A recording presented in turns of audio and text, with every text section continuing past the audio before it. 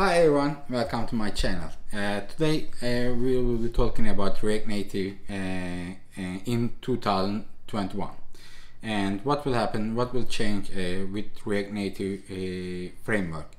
So today I will be talking about the common changes, for example JSI, JavaScript interface, turbo modules, fabric rendering infrastructure, Hermes engine on iOS.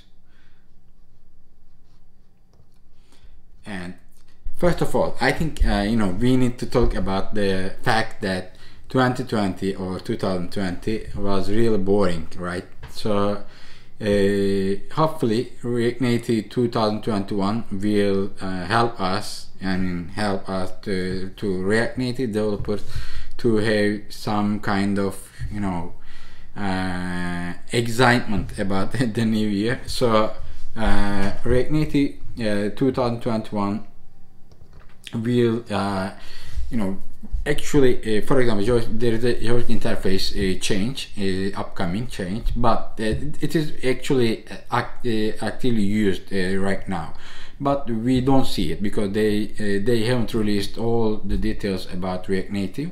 Uh, I mean uh, the new changes uh, because uh, they are still evaluating and testing the features. So in some time we will see all the changes are documented in React Native official documentation.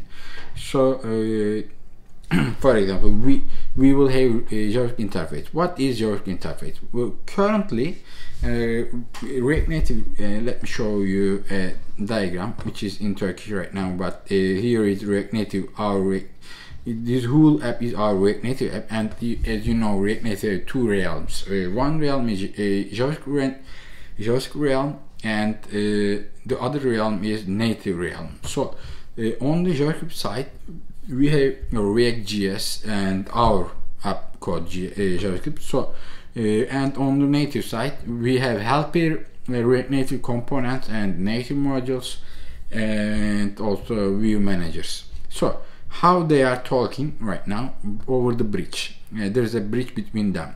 Uh, so, uh, over the bridge, we are sending JSON data. So uh, JSON data is a, string based data. So when we send data from here to here or uh, vice versa, then we are ending up a huge long uh, JSON processing time. So uh, which you know which creates a bottleneck for us for our apps. So uh, because of that, currently with React Native you know by using a pure JavaScript and React Native we cannot develop audio applications uh, video applications because we have to send huge data over the bridge so it is not possible right now. Uh, so uh, by using JavaScript interface we will be able to call uh, di directly from JavaScript to native realm. So we are eliminating uh, the need for this bridge uh, so which will help us to you know uh, to communicate uh, faster with two realms. Uh, but uh, the key point here is this JavaScript interface is mostly used by library developers. Of course we will use but it will be dependent on our app needs I mean our app because if it is you know audio app or video app then it will be beneficial to by to use a but most of app will not use a JavaScript interface. It is mostly used by our libraries. Uh, but having this you know uh, performance optimization or change is really good. Who says no?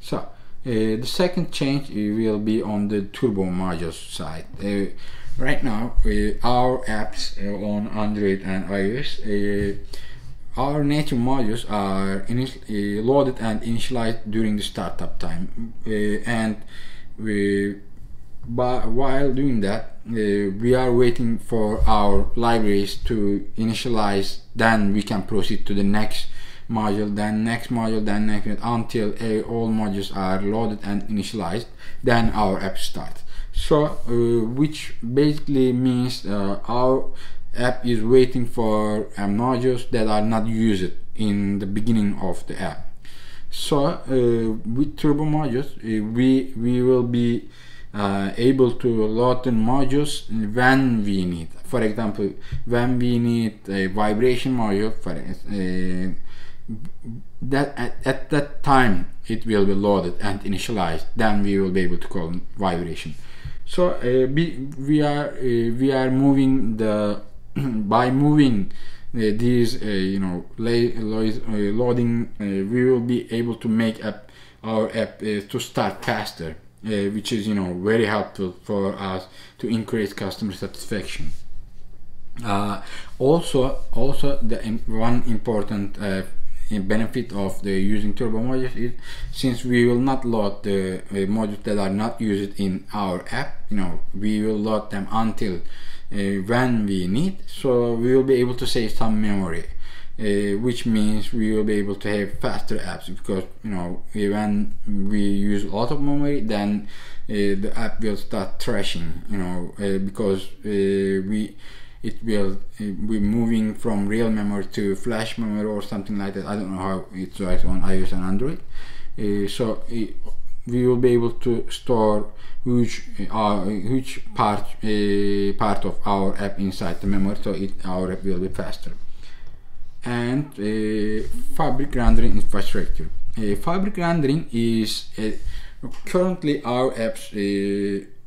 We have Shadow tree on our JavaScript side, and on this side, because our React.js here, it has the Shadow tree on JavaScript side. So when we have our component, uh, we are uh, React.js creating a shadow tree from that and uh, detecting the change then creating a you know, command to send over the bridge then native UI uh, part is parsing the JSON then doing the actual rendering so as you can imagine it is uh, there is a bottleneck here there is a bottleneck here also there is a bottleneck here because we need to send JSON data from here to here. Also, this is a history, so just tend to you know uh, use huge memory when we have a huge data structure. So as you can see, one, two, three uh, bottlenecks. When Fabric is released, uh, hopefully, because we are not sure that, uh, what will happen, but uh, according according to my you know investigation, uh, what will happen? React will be responsible from sending the changes to the native site so that native site you know by using a interface so native site will have a shadow tree uh, and then this shadow tree will enable us to render the part that are changed on here so uh, there is no you know bridge so there is no JSON parsing here, you know, uh, JSON parsing here, JSON parsing here. So there is no JSON parsing. So uh, it will, we will be also uh, the React Shadow tree will be uh, a C++ shadow tree. So that means uh, the memory usage will be uh, decreased. A huge amount of memory will be decreased. So which obviously means that our app will run faster.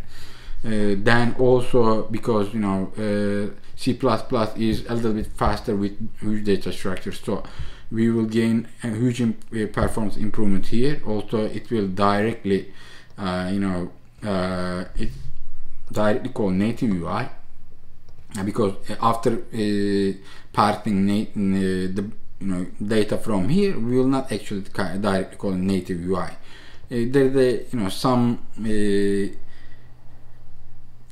some data structure construction than a native UI is called. But uh, here we will be directly calling the native UI because this uh, shadow tree structure will have the needed uh, required uh, classes or uh, structures to render the, the actual rendering. So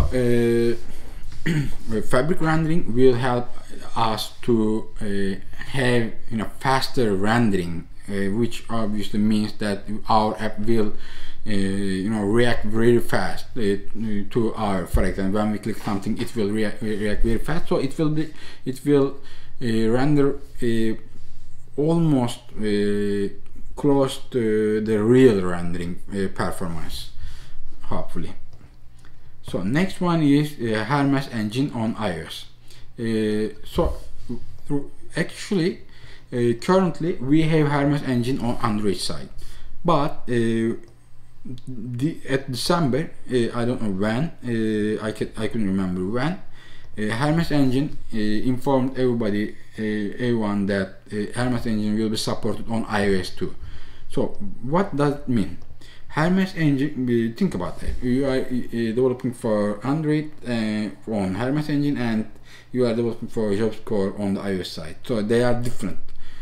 Uh, by enabling the same uh, engine on iOS and Android, uh, and you know, Hermes engine developed by Facebook, React is developed by Facebook, which obviously means that some you know, performance optimization which will help uh, React uh, be applied to Hermes engine so that we will uh, you know we will be uh, we will have a faster perform you know we will have fast performance on the React side also uh, the JavaScript engine side because it, the Hermes engine will have the mindset of I'm running React. Uh, so uh, it will you know it will perform faster with React Native applications uh, than comparing to JavaScript hopefully uh, on that side also but uh, I feel that it will happen also uh, it will help us to you know uh, because JavaScript and Hermes engine is different. When we develop for Android for example when we develop something then if, if something is working on iOS that there was you know slight change chance of uh, not running on Android. But it, it was a slight uh, chance right now uh, because you know uh, the uh, Hermes engine your engine is same which means if, if something is running here it will run at the other platform so we will be able to figure out the problems earlier uh, than later so it will be a, a huge boost for our developer confidence. So as you can see, uh, there will be really exciting changes on the React Native side in 2021, uh, hopefully, and uh, see you at the next videos. Uh, don't subscribe to my channel so that you can get uh, cool news about React Native, Flutter, or you know computer software development related videos. Bye.